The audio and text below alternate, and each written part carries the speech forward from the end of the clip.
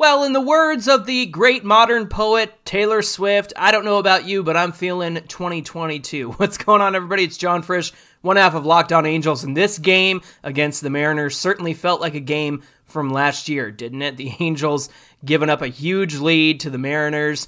Pitching was just not there tonight. Jose Suarez started out well but couldn't locate his pitches a third time through the order. And usually it's a matter of getting figured out by the time a batter sees you by the third or fourth time, but it wasn't that tonight. It was simply a matter of not locating pitches well.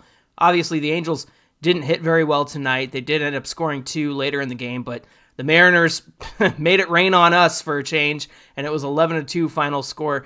Mariners had their ace on the mound in Luis Castillo, so he was hard to get to, of course. But tomorrow we've got our ace on the mound in Shohei Ohtani, so we hope you'll join my brother Mike and I on Locked On Angels wherever you get your podcasts.